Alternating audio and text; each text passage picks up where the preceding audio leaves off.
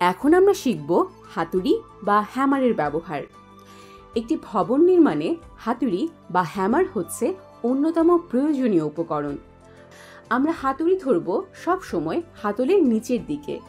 খেয়াল রাখতে হবে আমরা কখনোই যেন হাতুড়ির হাতলের মাঝখান বা লোহার ফলার দিকে না ধরি।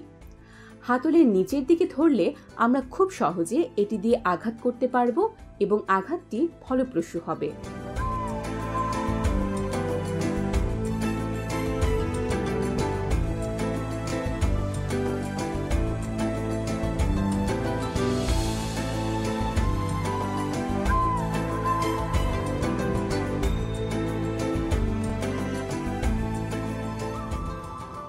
রড কাটার আগে জেনে নিতে হবে কোন মাপে রড প্রয়োজন।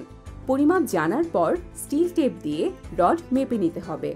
পরিমাপ নিয়ে কাটার জায়গায় চক দিয়ে মার্ক করতে হবে।